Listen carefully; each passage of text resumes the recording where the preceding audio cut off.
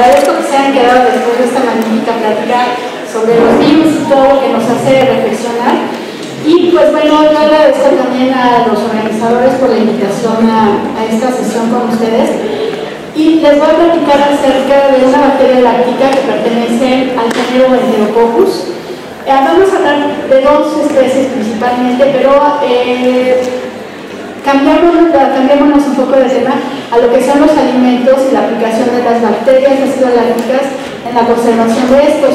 Entonces, eh, eh, yo formo parte del Departamento de Alimentos y de Tecnología de la Facultad de Química, eh, dentro de, lo cual una de mis áreas de investigación va a los alimentos fermentados, donde las bacterias ácido lácticas tienen un papel predominante y casualmente, por azares de la vida, caímos con el grupo de los enterococos y por eso nos hemos metido a cuestionar más cuál es su función y cómo, eh, qué aportan en un alimento fermentado.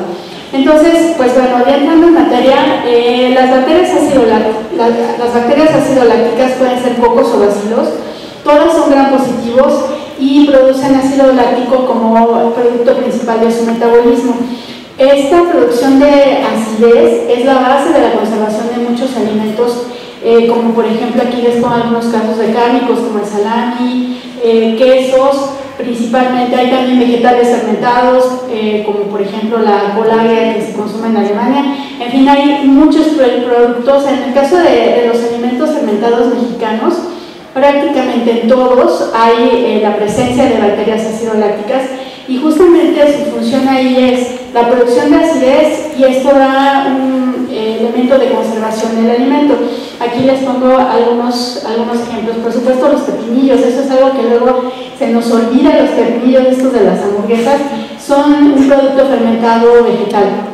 Bueno, entonces, dentro de estas funciones, pues tenemos eh, la, producción de compuestos como aldehídos, cetonas, en un momento les voy a poner algunos ejemplos, eh, que principalmente lo que estamos viendo acá arriba son compuestos que además dan eh, características de aroma y sabor a los productos. Son compuestos químicos, sobre todo lo que son eh, los aldehídos. También tienen una función muy importante, que lo pongan aquí en el circulito rojo, de bioconservación. Acabo de decirles que una, digamos, un metabólico importante es el ácido láctico, pero hay otros, por ejemplo, el peróxido de hidrógeno, el dióxido de carbono, otros ácidos orgánicos, ya se acordarán que hay bacterias que son homofermentativas, que tienen el ácido láctico como principal producto, las heterofermentativas, que tienen eh, la producción de otros ácidos también, por ejemplo, acético y, fórmico. Pero también producen otro tipo de moléculas de las que les voy a hablar más adelante, que son las bacteriocinas. Estos son unos péptidos, o sea, son proteínas pequeñitas, son a lo mejor de unos 40, 20 aminoácidos, que tienen una función antagónica contra otras bacterias patógenas. Entonces, pues bueno, esto es bien curioso porque si pensamos en el transcurso de la historia, pues eh, digamos, desde la época de Pasteur, pues no se sabía cuál era, qué era lo que pasaba en un producto fermentado. Posteriormente, ya que se empezó a averiguar que había microorganismos y que tenían funciones importantes, lo que se les achacó a las bacterias ácido lácticas era principalmente pues, la producción de acidez pero hasta por ahí de los años 90 fue que se descubrió la presencia de estas moléculas de naturaleza proteínica. Entonces, yo creo que esto es bien importante para hacernos reflexionar que no se sabe todo de todo, así como que ya me ah, a estas alturas del partido ya sabemos la mera neta de qué pasa con las bacterias y la verdad es que no, hay muchas cosas que todavía se están encontrando y que ya les platicaré algunas de las contribuciones que hemos hecho en este aspecto con respecto a lo que es bioseguridad. Entonces, pues bueno, generalmente nosotros pensamos en las bacterias ácido lácticas como buenas, ¿no? Son los microorganismos benéficos que nos han acompañado en el transcurso de la historia en la producción de alimentos fermentados. No nos cuestionamos eh, si son patógenas o no patógenas porque lo que tenemos en nuestra concepción son los géneros como lactococcus, lactobacillus, que, eh, pediococcus, que son como los tradicionalmente inocuos, ¿no? que son considerados como seguros. Hay una clasificación dentro de la normatividad de la aplicación de las bacterias en, en alimentos, en otros ámbitos, por ejemplo en cosméticos, esto que se llama GRAS. Esto es generalmente reconocido como seguro, entonces las bacterias escelácticas de los géneros que acabo de mencionar pues están allí, ¿no? Son las inocuas y las que han estado con nosotros durante siglos.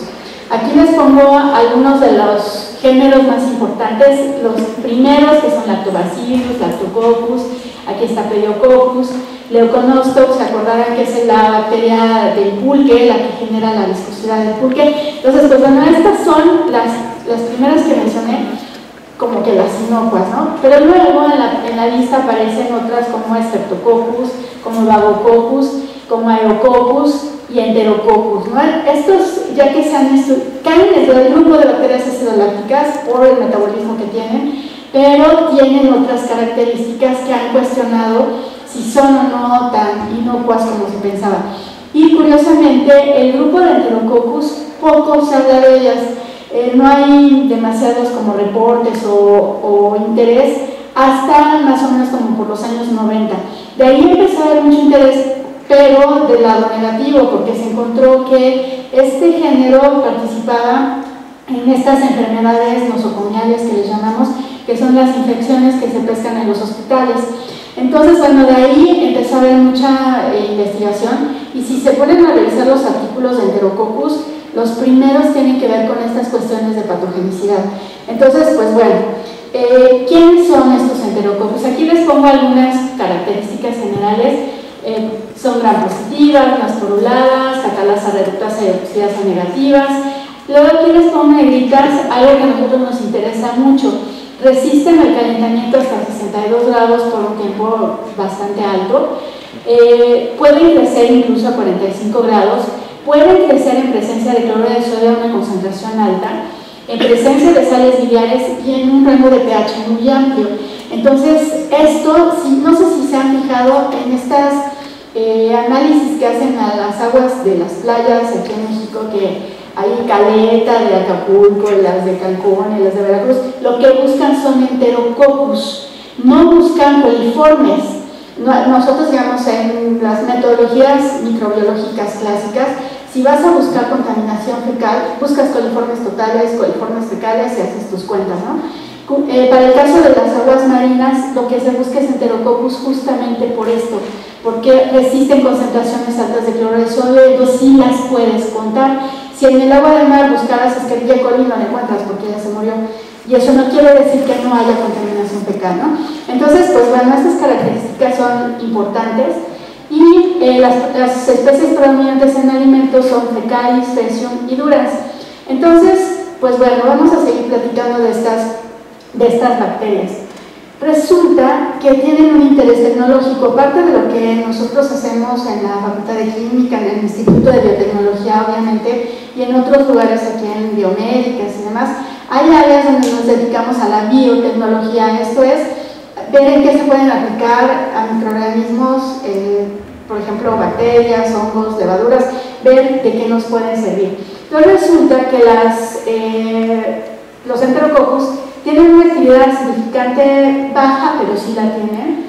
Una actividad proteolítica, por ejemplo, aquí les muestro una caja Petri que lo que tiene es agar con leche descremada y se ve este halo, que quiere decir que la bacteria fue capaz de utilizar la caseína y forma este halo de aclaramiento. Eh, también tiene una actividad lipolítica y esterasa interesante. Eh, esto van a ver por qué tiene que ver con lo que les voy a platicar. Producen agentes antibacterianos como las bacteriocinas y aquí, por ejemplo, les pongo un resultado que tuvimos, bueno, estos son de nosotros del laboratorio, aquí lo que tenemos es un, un, césped de Staphylococcus aureus, unos pocitos que se hacen y ahí adentro lo que se puso fue el sobrenadante de una fermentación de Enterococcus y se ve que hay inhibición de Staphylococcus aureus por algo que produjo la bacteria en ese calor de fermentación. Y además tienen, eh, además de, tener esta actividad antibacteriana, tienen funcionalidad como probiótico y de esto les voy a hablar un poquito porque yo creo que es algo que vale la pena recalcar. Eh, bueno, antes de esto, déjenme platicarles, esta transparencia siempre la pongo, casi que no venga el caso, pero me gusta mucho, porque vean, aquí lo que tenemos es el tipo de metabolismo que hay, eh, en productos lácteos. Entonces, lo que tenemos como materia prima, digamos, o como sustratos en esos productos lácteos son la lactosa, triglicéridos de la grasa de la leche y caseína, que es la proteína principal. Entonces, los microorganismos que participan en fermentaciones lácteas y que a nosotros nos interesan particularmente son los que tienen estas rutas que están sombradas aquí en gris. Eh, son rutas metabólicas de degradación de azúcares, de lípidos y de proteínas que generan una serie de compuestos, por ejemplo aquí está acetaldehído, etanol, diacetilo, este es muy importante, tiene un sabor a mantequilla que es clásico. Eh, por ejemplo, aquí hay cetonas, alcoholes secundarios, ésteres, y a partir de la hidrólisis de, proteínas se generan aminoácidos, hay reacciones eh, de modificación de estos aminoácidos y en general todos estos compuestos que están aquí en esa área sombreada tienen características de aroma y de sabor. Entonces, realmente por eso es que también nos interesan estas bacterias acidolácticas. Eh, para ver qué es lo que producen y qué aportan en la fermentación de un producto lácteo. Eh, ahora, ¿dónde vive el, género Enterococcus? Bueno, su hábitat eh, normal es el tracto gastrointestinal de mamíferos, ahí es donde vive. Por eso el nombre, ¿no? Enterococcus fecalis. Pero también puede vivir en el agua, en el suelo y puede estar presente en, en vegetales y en alimentos de origen animal, sobre todo en productos lácteos. Entonces aquí viene la pregunta, pues ¿qué es lo que pasa? ¿Se contaminan esos productos o el agua o el suelo está contaminado con materia fecal y de ahí sale? Pues probablemente. Eh, lo que no sabemos aquí, pensando en esta cosa evolutiva, no sabemos realmente dónde es que vivieron inicialmente. Si inicialmente eran del ambiente y después se especializaron al tracto gastrointestinal, o, o, fue al revés, ¿no? Eso no lo sabemos, pero lo que sí sabemos es que se puede encontrar en cualquiera de estos hábitats y no necesariamente quiere decir que sea algo negativo y eso es algo que, que ahorita les, les, voy a platicar. Por ejemplo, en el caso del, del gasto intestinal existen ya eh, formulaciones comerciales, aquí les pongo dos que se llaman Simbioflor, que son probióticos estos ya se venden en una presentación farmacéutica y tú te los tomas para eh, mejorar tu microbiota intestinal. Entonces, veamos que esos microorganismos intestinales no necesariamente son malos, ¿no? Entonces aquí hay que, que cambiar un poco esa perspectiva. Entonces, regresando a este asunto de los probióticos, el punto aquí es que son microorganismos sí de origen intestinal, porque queremos que vivan allí, porque queremos que allí tengan funciones metabólicas importantes que van a ser benéficas para nosotros como consumidores. Eh, estos son inocuos, eh, eh, se aíslan de la microbiota fecal humana, es más, hay varios que se han aislado de materia fecal de recién nacidos, de bebés sanos y demás. Entonces, pensemos en esto, ¿no? que si finalmente queremos que vivan en el intestino humano, pues hay que aislarlos de ahí mismo. Ahora, un punto importante es que no, no colonizan de forma permanente. Esto es algo que pensemos en la información que luego nos llega por la propaganda que hay de productos como Yakult y otros, ¿no?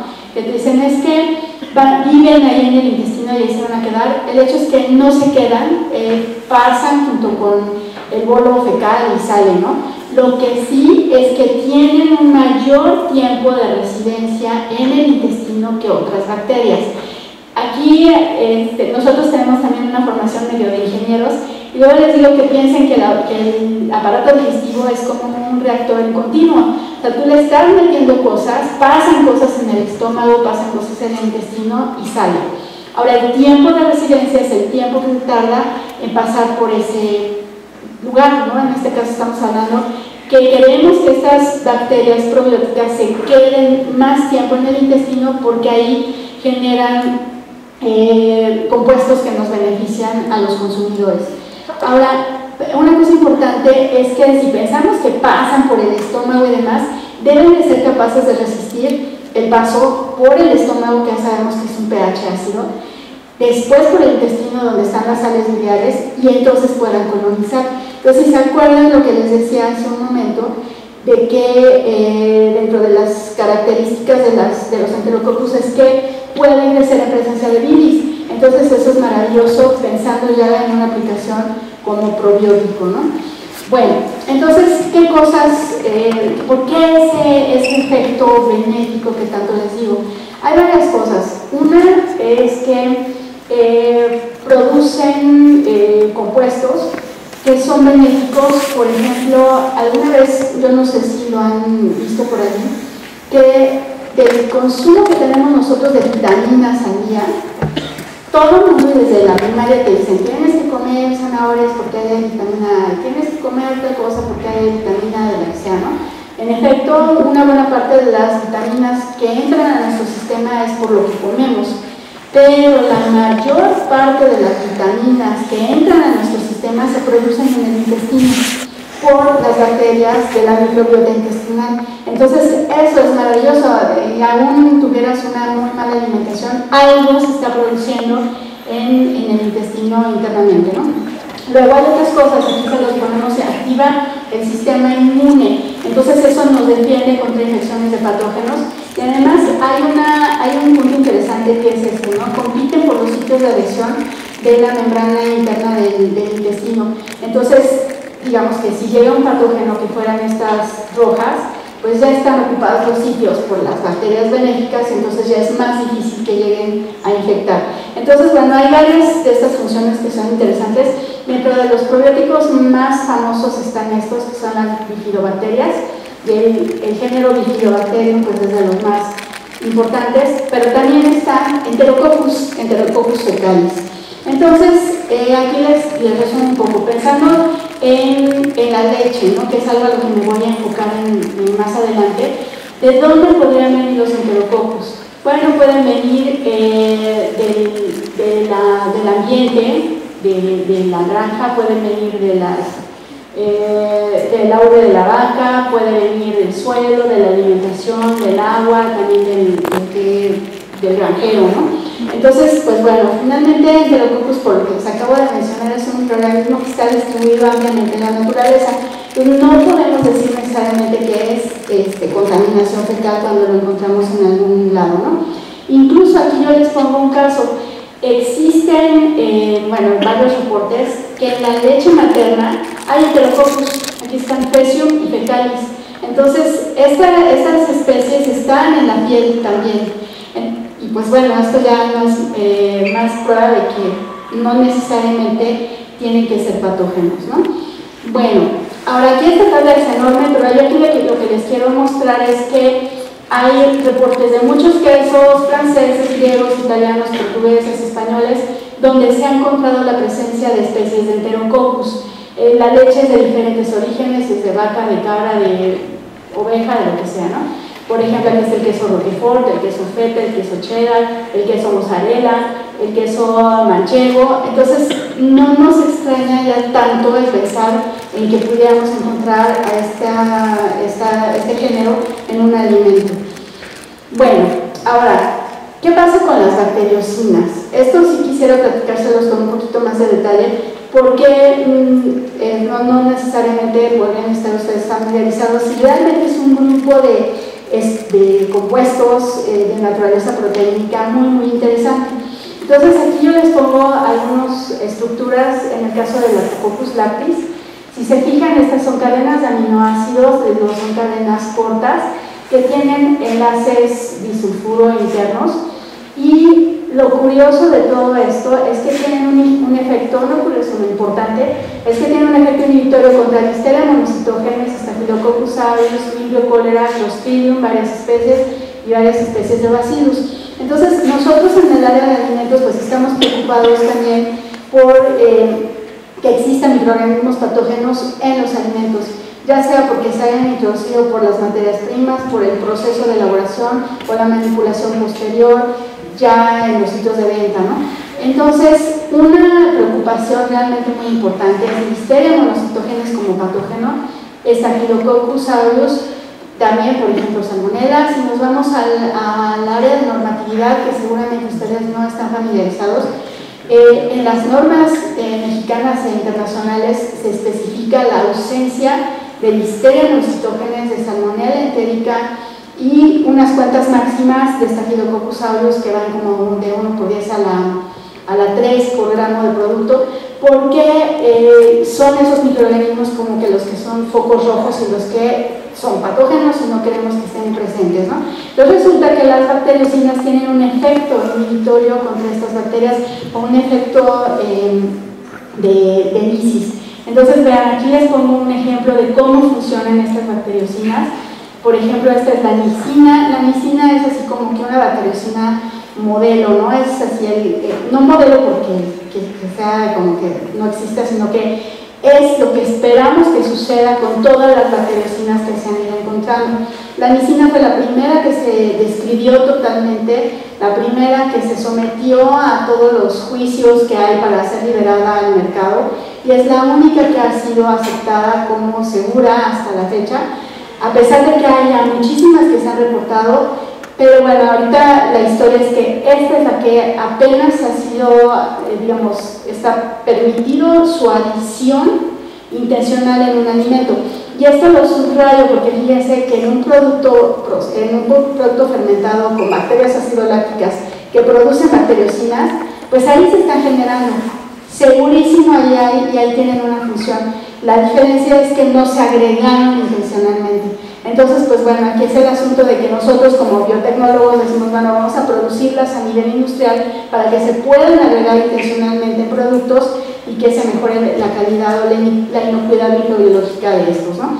Entonces vean como, por ejemplo, en el caso de la medicina lo que hace es un poro a nivel de, membrana. Entonces esto eh, cambia la polaridad y toda la distribución de moléculas intra y extracelularmente y acaba matando a la célula. Hay otras eh, bacteriocinas que la acción que tienen es a nivel de pared celular y la función al final de cuentas es la misma, acaban con una lisis celular. Entonces, pues esto es súper interesante, ¿no? y yo así como que les quiero subrayar que lo, curioso aquí de todo esto es que se descubrieron apenas en los años 90, entonces hay mucho todavía que, que hay que averiguarle a las, a las bacterias. Entonces, por ejemplo, aquí les pongo una tabla donde hay este, una serie de bacteriocinas producidas por Enterococcus, Fecium fecalis y Munti, aquí en están gallinarum, aquí hay otra especie, pero pues hay mucho estudio ya sobre la producción de bacteriocinas por el género Enterococcus. Eh, por ejemplo, estas cepas que están aquí enlistadas producen enterocinas y además han utilizado como cultivos iniciadores en la producción principalmente de, queso y algunos productos cárnicos fermentados. Entonces, esto es importante, quiere decir que ya se agrega intencionalmente a la bacteria por su capacidad de producción de bacteriocinas. Entonces, hasta ahorita yo les he platicado como cosas que por un lado son buenas porque producen bacteriocinas, porque pueden ser probióticos, pero por otro lado hay algo, ¿no? ¿Qué pasa con esas de las infecciones de los hospitales? Entonces, esa es la situación de Enterococcus, puede ser buena o puede ser mala y está en tela de juicio. De hecho, hay unas listas por ahí en las páginas de la, de la FAO y de la Organización Mundial de la Salud, donde eh, te dicen, bueno, tal microorganismo puede ser probiótico, ¿no? tal cepa de tal microorganismo, aquí es importante porque no es solo género y especie, sino también cepa. ¿no? Entonces, por ahí están esas listas, Enterococcus entra y sale a veces dicen que sí, a veces dicen que no, porque encuentran cosas positivas y negativas. Entonces, pues bueno, ella está siempre cuestionada, ¿no? Aquí es lo que les pongo, ¿no? Por un lado están muchos beneficios, pero también hay riesgos. Entonces, eh, sobre todo esto de las infecciones nosocomiales que están relacionados con los factores de virulencia que pueden tener eh, codificados en su genoma. Ahora, eh, esto ya platicamos, no pueden ser cepas probióticas, cultivos iniciadores, productores de bacteriocinas y de peptidoglucanhidrolasas. Esta se los voy a platicar en, un momento. Entonces, eh, ¿qué otra cosa? Todo esto es nada más para acordarnos un poco. En el caso de las bacterias acidolácticas es muy común que haya transferencia de información por conjugación. Acuérdense que se pasa información de una célula donadora a una receptora. Y este es el mecanismo que tienen las bacterias de estas infecciones de los hospitales para adquirir resistencias a antibióticos. Entonces, eso es lo que las va haciendo como cada vez más resistentes a diferentes antibióticos y por lo tanto más difíciles de eliminar.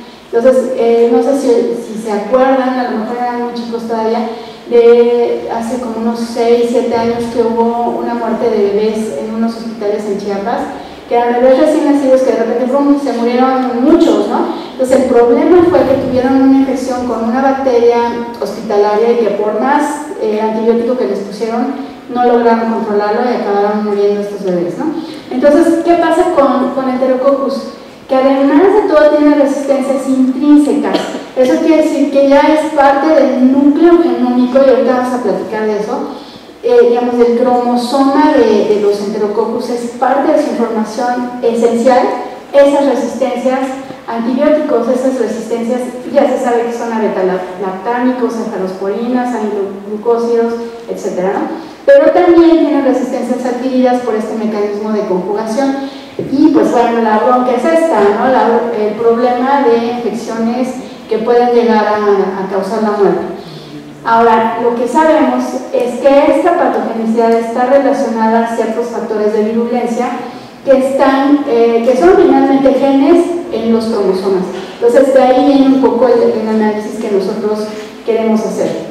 Bueno, ahora, eh, ¿qué pasa en, en, mi laboratorio y de dónde sacamos este interés por los enterococcus?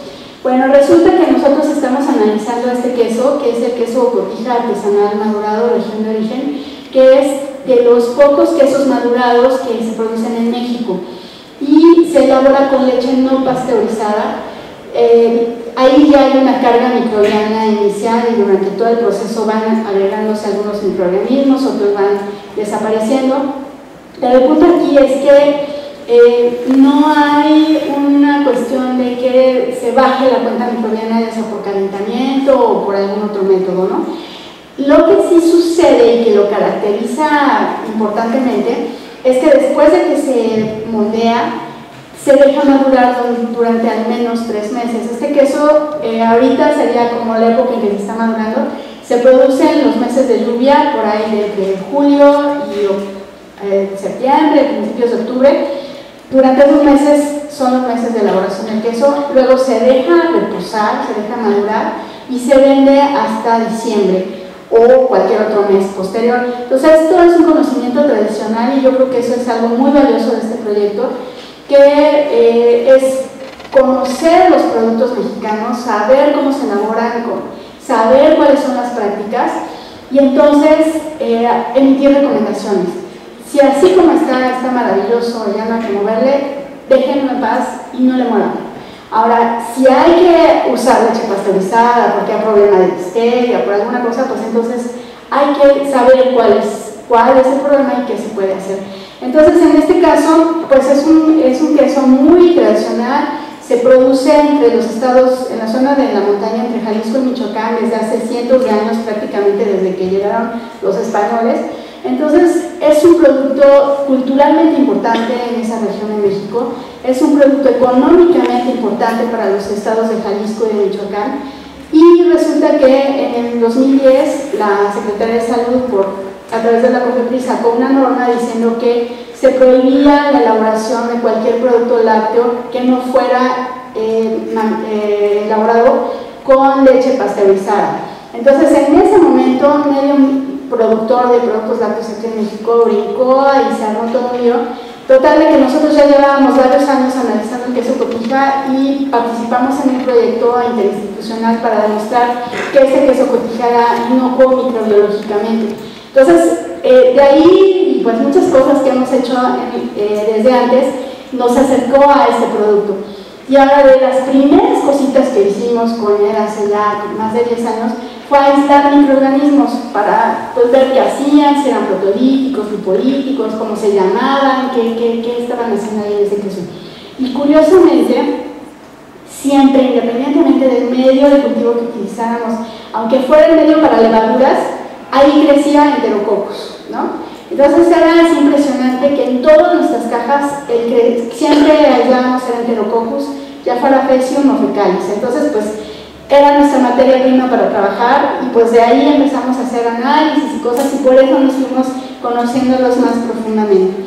Entonces, eh, esto ya se los, se los platiqué. Aquí lo interesante también es que este queso tiene un aroma característico y pronunciado. En el 2005 hubo un concurso de quesos en, bueno, todos los años hay un concurso de quesos en un lugar de tele que se llama Cremona, y en el 2005 este queso ganó el premio al mejor queso extranjero del año, ¿no?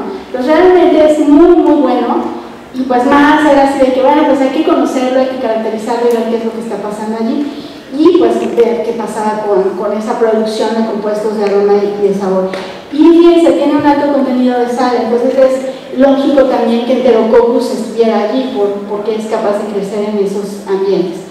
Bueno, una de las primeras cosas que se hicieron fue ver cómo estaba microbiológicamente el producto. Se hizo una cuenta de coliformes totales. Este es un método bastante poco inexacto, pero es el método de, norma.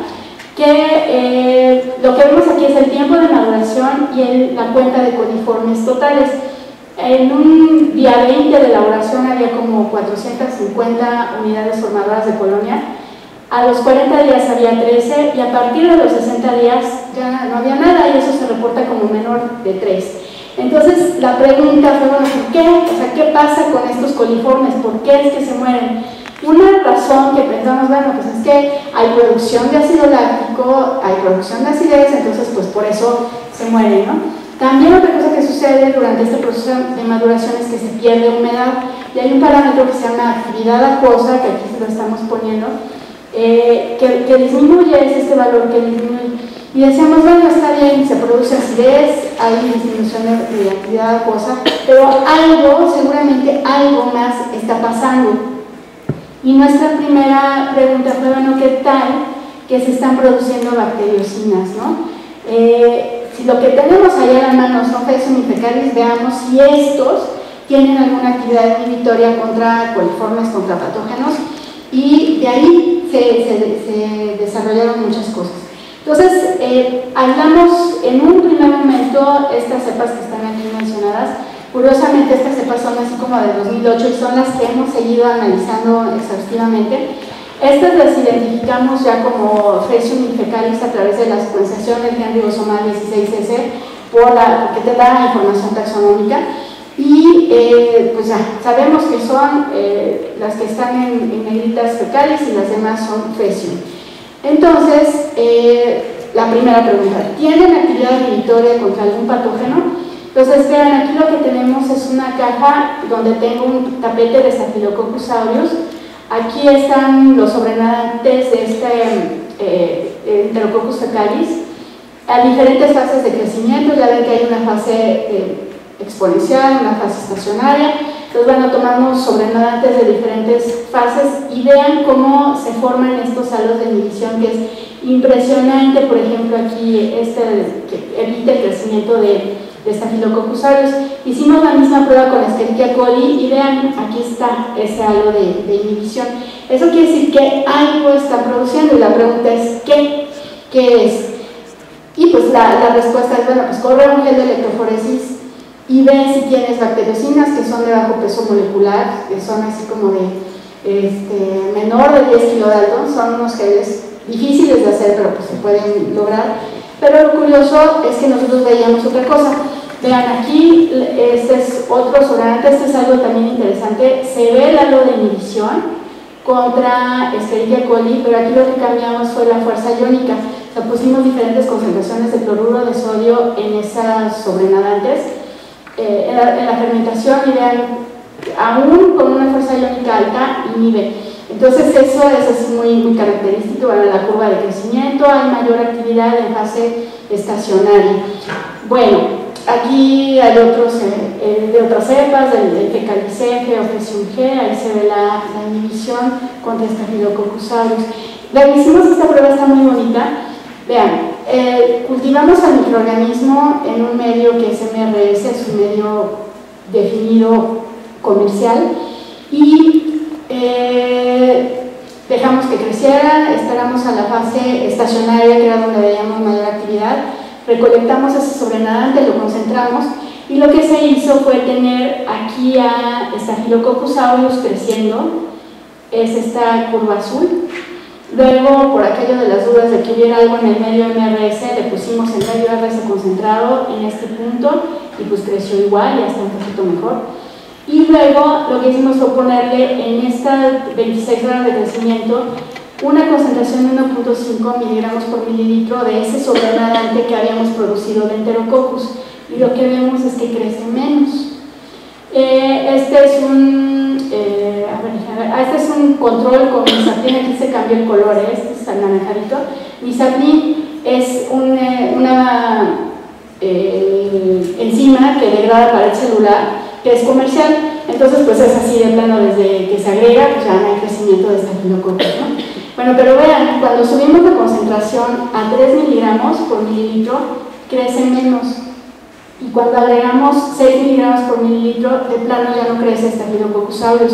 Y no nos regresaba así. Esa es una prueba muy buena de que algo está produciendo que definitivamente no es bacteriostático, sino que es bactericida definitivamente, ¿no?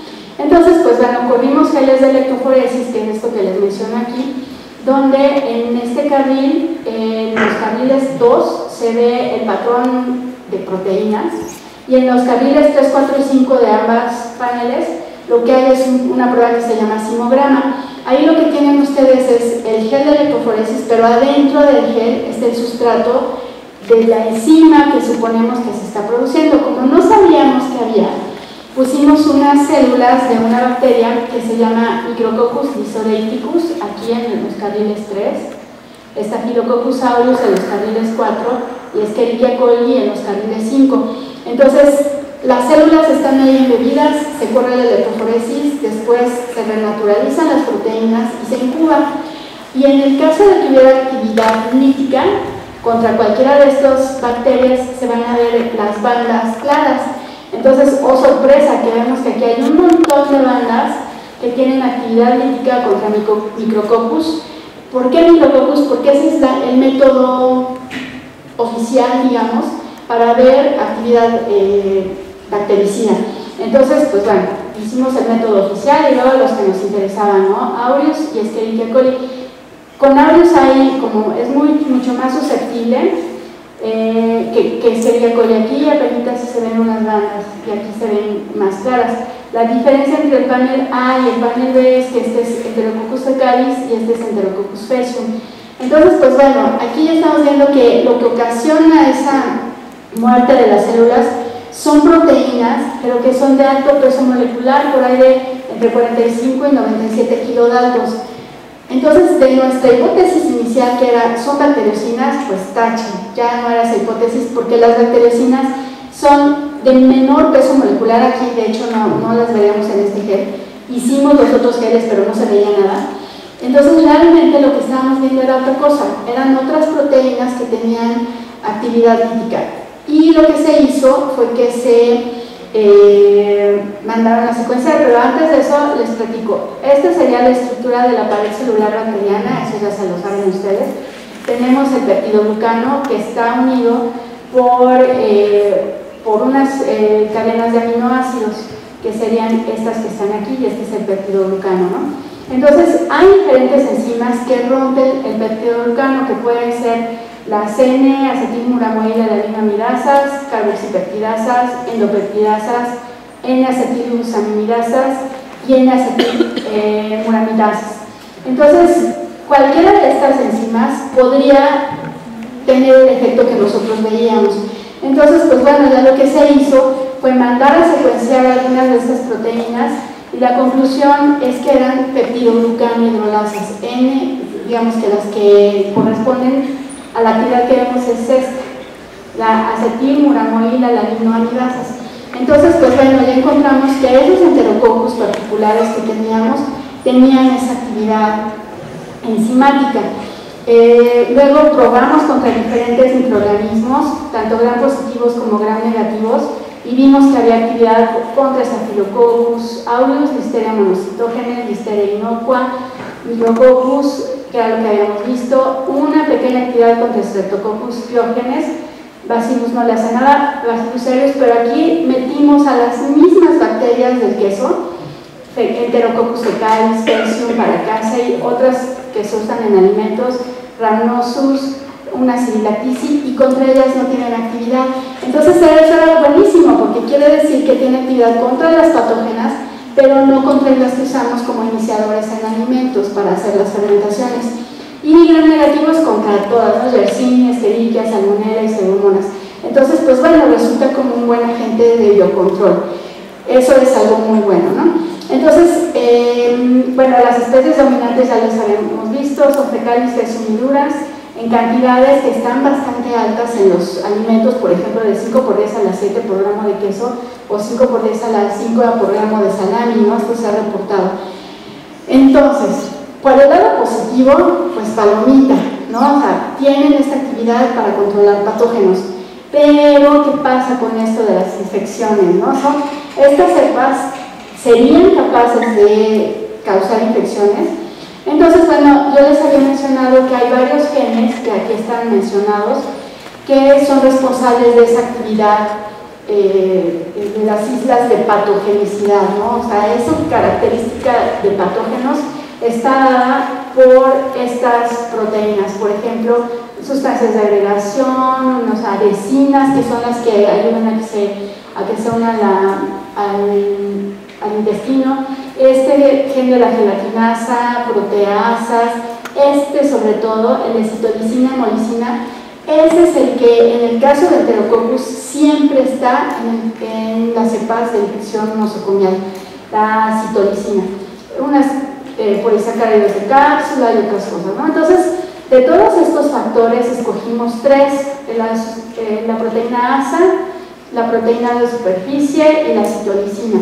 Entonces lo que hicimos fue a través de PCR buscar presencia o ausencia en todas las cepas que teníamos en nuestra colección y lo que encontramos fue que en el caso de la citolicina ninguna cepa tenía ese gen, de la proteína de superficie había tres y de la sustancia de agregación había más. Aquí en donde dice el grupo lo que hicimos fue juntar muchos aislados y se hicieron esos grupos aleatorios. ¿no? Entonces aquí lo que vemos es que ese factor negativo ninguno lo tenía.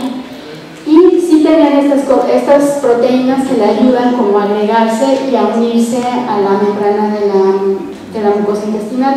Entonces la, actividad, bueno, vimos, dijimos, bueno, está bien, no encontramos los genes, eh, pero vamos a ver si igual la reacción de PCR no estaba bien, a lo mejor hay alguna mutación y por eso no, no amplificó. Entonces buscamos la actividad hemolítica en caja Petri, que se ve de esta manera. Aquí el control fue eh, Streptococcus pyogenes y pues resulta que ninguna dio resultado positivo, ¿no? Entonces, bueno, no tienen ese factor que es esencial para que haya infección. Y luego, con respecto a las otras pruebas, de repente pensamos y dijimos, bueno, finalmente las, este enterococcus es de origen intestinal y hay cepas que son probióticas. Y para que puedan ser probióticas, un factor importante es que se agreguen y que puedan colonizar en el intestino. O sea, que, ¿qué tal que estos factores que veíamos acá arriba, tanto la sustancia de agregación como la de superficie, esta proteína de superficie, tienen una función positiva para la, colonización del intestino. Entonces, esta es una prueba bioquímica para comprobar que había formación de biopelículas, es en una placa de poliestireno. Se hace una tinción, eh, bueno, más bien se inocula con microorganismos, se deja incubar y después se tiñe. Y cuando se ve un colorante azulito, quiere un color azulito quiere decir que sí se formó la biopelícula. Entonces vemos que hay varios de los grupos que sí tienen esta capacidad de formación de biopelículas y de cepas puras.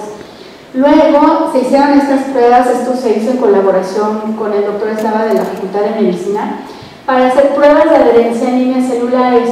Y entonces lo que se ve es que sí tienen la capacidad de adherirse a células eh, de eucariontes. Estos son células de colon. Entonces, pues así como que dijimos, bueno, a ver, aquí nosotros pensando que eran patógenas, pero probablemente más bien son probióticas, ¿no? Entonces, eh, bueno, se hizo también con, con, otro tipo de células con el mismo resultado, ¿no?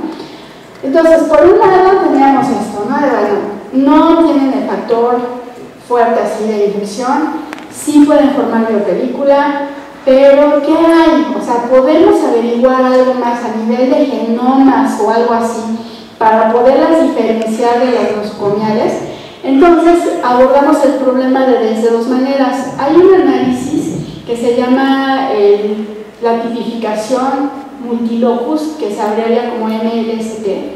Este es un método muy, muy interesante porque eh, finalmente hay una base de datos internacional. Si tienen curiosidad, pongan ahí en Google MLST y los va a llevar a una base de datos donde se van depositando información de cepas que se han aislado en todo el mundo, no solo de Enterococcus, sino de otros microorganismos, otras, otras bacterias. Y es un poco similar a esto a lo que sería un código de barras. ¿Por qué? Porque lo que se hace es amplificar estos genes que están aquí enlistados ya sabemos, o sea, ya está estandarizado cuáles son los cebadores para las amplificaciones, cuáles son las condiciones de, del termociclador y demás. Y entonces tú amplificas, purificas, mandas a secuenciar y el resultado de la secuencia lo envías a ese lugar internacional donde te dan la secuencia tipo de la cepa que tú estás caracterizando. Y entonces en esa base de datos ya tan grande hay secuencias tipos de cepas patógenas y las secuencias tipo de otras que se han aislado de otros ambientes. Obviamente hay más información de las patógenas porque es donde todo el mundo está preocupado, ¿no? Y que si hay un, aislado de un hospital, pues ver si pertenece a ese grupo clonal de las patógenas o no. Pero nuestra opción es verlo al revés y decir, bueno, nosotros que trabajamos con alimentos y sabiendo que Enterococcus puede estar presente en una gran cantidad de, alimentos o de materias, así como hasta la leche humana, pues averigüemos que hay de los enterococcus no patógenos y enriquezcamos esa base de datos con las secuencias de los no patógenos para que haya más, más información finalmente de ambos lados. ¿no? Entonces, pues bueno, esto se hizo. Este, este, por ejemplo, aquí está el, dato del MLST para el Enterococcus faecium. Les voy a, poner solamente el caso de faecium. Entonces, tal cual, eh, amplificamos de, cepas puras. Aquí están los productos de amplificación. Estos se purificaron y se mandaron a secuenciar. Entonces, eh, bueno, nosotros también hicimos ahí unos alineamientos y esto se manda a ese lugar, es una página del MLST. Llenas los campos, ahí están los diferentes eh, genes que tú vas secuenciando y ellos te mandan una secuencia tipo. Entonces, lo que nos arrojaron fue lo siguiente. Esta es la identificación de la cepa, de qué queso se aisló y estos numeritos que están aquí puestos son los que nos da esa eh, digamos, página internacional del MLST. Son eh, las secuencias tipo 5, 7, 5, 7, 1, 1, 1, ¿no? Entonces aquí lo interesante es comparar estas contra patógenos. Entonces en primer lado hubo cuatro, cuatro secuencias tipo 9 que son nuevas, la ST 1045, 1046, 1047 y 1048, que son las que aquí quedaron en, en rojo. Hay dos que tienen la misma, que son la C y la la G, eso quiere decir que es la misma cepa, que mandamos dos veces, pero pues no sabíamos. Hasta esta es la prueba que ya decimos es el mismo género, la misma especie y el mismo tipo, o sea, son la misma, ¿no? Luego, eh, aquí este fue un nuevo alelo para el gen DDL, este no se había descrito antes en ninguna de las de su base de datos. Otra cosa importante es que vean, este, el complejo clonal 17 es el patógeno. Ese es donde están todas las cepas de infecciones de hospitales, entran en el complejo clonal 17. Y nuestros números, digamos, de, las secuencias tipo, ninguna coincide con estas. A lo, no, pues realmente ninguna. Entonces, a lo mejor esta, ¿no? La PRCT sí, en estos casos, en este no, pero todas las demás son muy diferentes. Entonces, realmente por comparación contra las secuencias tipo patógenas, las nuestras están totalmente alejadas. Eh, por ejemplo, ahora haciendo la comparación con otras que también están descritas en esa base de datos que provienen de quesos italianos, eh, comparten algunos alelos con esas de quesos, no todos. Eh, por ejemplo, este, el, de queso 2 comparte cuatro alelos con esta cepa que es un queso italiano. El QD2 comparte seis alelos con esta que es de otro queso italiano, entonces como que se parecen más a los de los productos lácteos. Pero la mejor manera de hacer esta comparación ya es con este análisis que se llama IVERS, que lo que te hace es este mapa. Te ubica de acuerdo a esa secuencia de alelos dónde están ubicadas las cepas que tú estás analizando, ¿no? Entonces vean, este que está aquí adentro es el complejo clonal 17, donde están todas las cepas patógenas y nuestras cepas de los quesos quedaron acá arriba o en esta parte como muy extrema de, de este esquema, ¿no? Entonces ya con esto quedó clarísimo que las cepas de alimentos, al menos estas que tenemos aisladas del queso cotija, están totalmente alejadas de las patógenas por el análisis de MLST. Algo similar ocurrió con las cepas de Enterococcus fecalis. Aquí otro punto interesante, que ahorita es lo que estamos haciendo es que ya nos hicimos otras preguntas, ¿no? Entramos en contacto con productores de queso de Ocosingo, que es un queso tradicional de Chiapas, y resulta que de los microorganismos que se aislaron hay Enterococcus faecium. Entonces bueno, metamos esos Enterococcus faecium de otro queso que geográficamente está muy alejado de Jalisco y Michoacán, acá estamos hablando de Ocosingo en Chiapas, entonces veamos qué pasa con esas cepas, eso se los contaré la próxima vez que me invite porque todavía lo estamos haciendo, pero supone, o sea, nuestra hipótesis es que van a quedar también aquí alejadas, ¿no?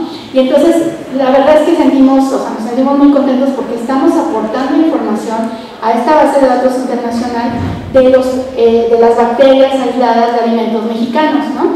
Bueno, esto por un lado, pero por otro lado, eh, resulta que eh, dijimos, bueno, de esto lo estamos haciendo en paralelo, ¿no?